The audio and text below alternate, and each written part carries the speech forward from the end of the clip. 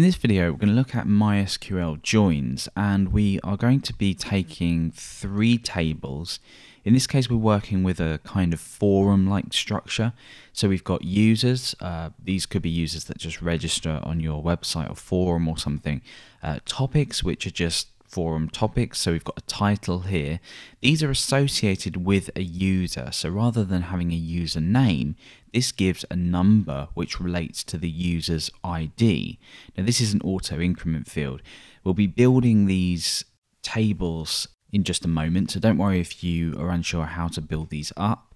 Now with post, this is a little bit more complicated because we've got a topic here and a user association as well. Now, what we're aiming for is we're aiming for a list of topics. Now, what I've done here is I've just done a print R on the objects returned by MySQLi, and we'll be looking at this from scratch. So, if that doesn't make sense to you, uh, you'll see what we're talking about in a moment. But we we've got a title here which is obviously the title of a topic, and this is obviously a topic listing, so this is just listing through all the topics that are in the database. We've then got a username, so without doing queries within loops, which is extremely bad practice and slow uh, and unmaintainable, we have uh, the username being pulled in with this query. And we've also here got the count of the amount of posts associated with that topic. So this is really useful because we're doing one query, but we're accessing data from all three tables in our database. So that's pretty much what we're going to be doing and by the end of this video you should have a very good idea of how to join tables and uh, do things like count on tables. So let's go ahead and start to build out the database tables, and then we'll go ahead and look at some code. Okay, so we're starting completely from scratch. I've got a database here called website, and I'm going to create these three tables that we saw just a second ago.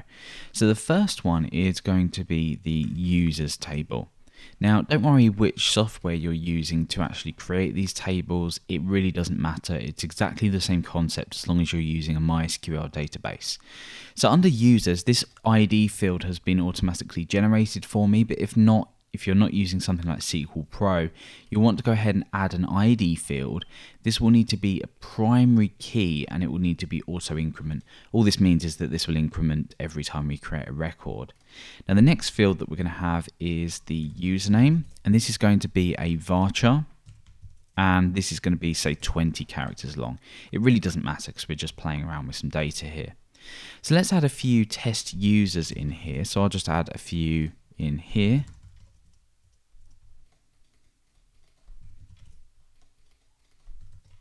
There we go. So we've got four users in there, so we've got plenty of data here to, to test with. Let's now create our topics table. So this is going to have a topic title and it's going to be associated to a user.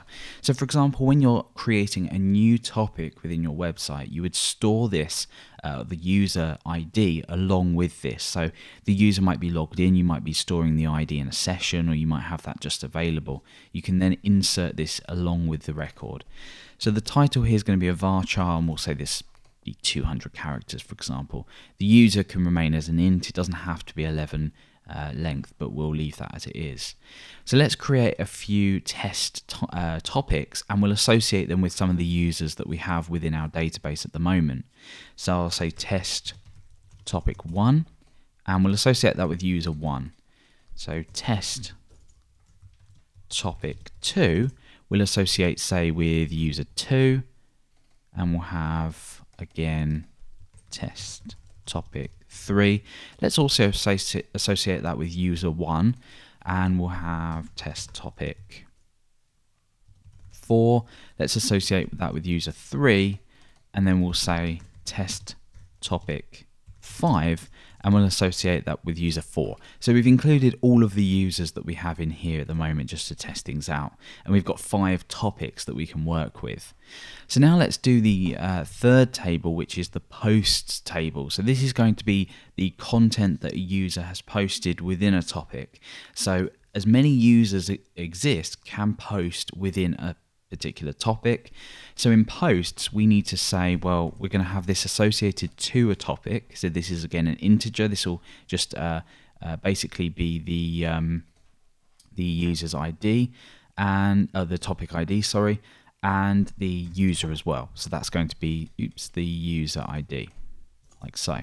So they can both remain as integers, and the body here will literally just be some text uh, that the user can go and just type in. So um, let's go ahead and create some test test in here. We're going to say topic, say one, and we'll say user one. And in here, let's just say, um, uh, let's just say this is a test. And we'll copy this just so we can save a little bit of time. So we'll also then target topic one as well, and we'll say user two posted this. And again, that will just be this is a test. And let's again fill out topic, say two, and we'll say user three. And we will add this in here. And we'll say topic three, we'll say user one, and we'll say topic three again and user one. So we're just sort of mixing this up really. Um, obviously, within a normal application, this would just be posted by users. You wouldn't be inserting data here. And uh, lastly, we'll pick, pick, say, topic 5, and we'll say user 4, like so. And that leaves us without a record with topic 4, so that will have 0 posts within it. So what we're actually doing here is we're assuming that a topic doesn't have to have any posts. So we're going to do a left join, which we'll look at in a moment, and that means that a topic always exists, but posts might not exist. So we're just assuming that a user can post a topic without an initial post. Um, that may not be the case in a real world scenario, but in this case, to learn about joins, we'll just assume that's the case. Um, and also, just before we start, a topic always must have a user. So we're going to be using an inner join for this. So these both must match. So um, a topic must have a user. Uh, a topic can't exist without a user posting it but a topic can exist without posts being in it. So that's really important to remember when we look at this. So now that we've set up the database table, let's head over to our text editor and actually start to write out the query that's going to bring this in. And we'll start very slowly and then we'll start to introduce the joins as things start to get more complicated. So let's create a um, new MySQLi instance just so we can quickly connect to our database. We're connecting to localhost here and my username is root and my password here is root. And remember the database name is website. So we're now connected up to our database and we can issue a query. So i'm going to store a query's uh, result inside of this topics um, variable. So the query i'm going to split onto multiple lines just so we can read it a little bit better. So a very basic query just to pull out the topic title would look something like this. Select either everything, so that would select the ID and the title and the user. Um, so if we just head back to our database, that would select all three fields. So you could say select everything from topics like that. And we're going to do just a little while loop down here. And for each of these loops, we are going to fetch an object from this query or this result. So here what I'm going to do is I'm going to echo out some pre-tags and within this I'm just concatenating all this on. I'm going to do a print R on that row. So all this does is it just wraps these in pre-tags so we can maintain the formatting and print R will give us a representation of what's in this row. So now you'll see something like this. So we basically just have objects so we can access the title, the ID and the user. So for example, I could do, let's just comment this out, I could do something like echo row title if you wanted to do that. But for now, we're just concerned about the data that comes out, not how we use it. So we've got the ID, which we don't necessarily need. We might use it eventually. We've got the title here and we've got the user. Now the user at the moment just is one, two, and that's useless. Now in a typical example, what you might do is you might then do another query in here to fetch the user. Now that would be bad because what you're doing is let's say you have a hundred um, topics you're then doing another 100 queries just to fetch the user. That's really bad practice because you, when you loop within a query, you're generating so many queries, you're generating so many requests to your MySQL server that you're just slowing down your application. So what we want to do is just keep things like this. We're not adding anything else within this while loop at all. We're doing everything within the query. Now this query is only going to be about six lines long, so it's not that much of a deal. So Instead of selecting everything from topics, let's uh, specifically define what we need. Now I want to pull back the ID because I might want to link off somewhere and I want the title as well. I also want the username. Now this username doesn't exist exist in our topics table. It exists in our users table. So somehow within our query we have to say, well, this number here uh, is equivalent of this username Alex. So we need to join these records somehow. So instead of saying select ID and select title, I want to specifically define where these come from because otherwise what we do is if we have um, field match the same, this is going to uh, cause a little bit of confusion uh, within this query. Now ID is ambiguous. It could belong to topics, it could belong to posts, it could belong to users. So we are explicitly going to define where we want this to come from. So we're going to say topics.id and topics.title, and that's from the topics uh, table here. And because this query is pulling topics, we're always going to say from topics um, because that's the table we want to pull from. And then we want to additionally pull from the users and posts. So let's look at getting this username in here. So we've got ID and title. We want instead to have a username in here so we can output that. So how do we do this? Well, we again specifically define where we want to pull the username from. It exists in the users table. So we say users dot username. Simple as that. Now this isn't going to work at the moment. It just the query basically errors, so we get back this error message here. And the reason that happens is because we're not pulling, we're not saying where we want this to be sort of joined on. So all we do is we do an inner join. Now, an inner join means that this exists on both sides. So if you think about joining, you have a left and a right side. Inner join basically means that a topic always has to exist alongside of a user in an example where, for example, you have a user and maybe orders, maybe you have a website where uh, a user can take uh, or place orders, a user doesn't necessarily always have orders. So you can have users exist without orders. In this case, when a user posts a topic, a topic must have a user. A user might not have a topic, so if you were listing users, you would do a different kind of join. So that's a brief sort of explanation of the this inner join type. So we want to inner join users. So this is the name of the table. We're doing an inner join on users. So we now need to define how this relationship works. We need to know, um, for example, if we look at this, topics user matches topics user, uh, sorry, users.id. So this needs to link up with this. So we need to sort of tell uh, that MySQL that this is the case.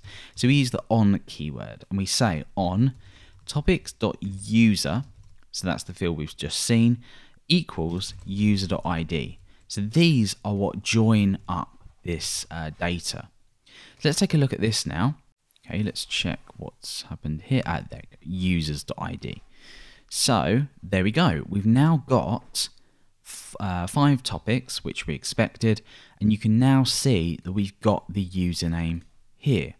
Now, if you needed to grab any other data from the users table, for example, if you wanted the user's ID, you could do that like so. But there's a little bit of a problem here. When we say users.id, this then changes the ID here. That's not great because we're sort of overwriting this field.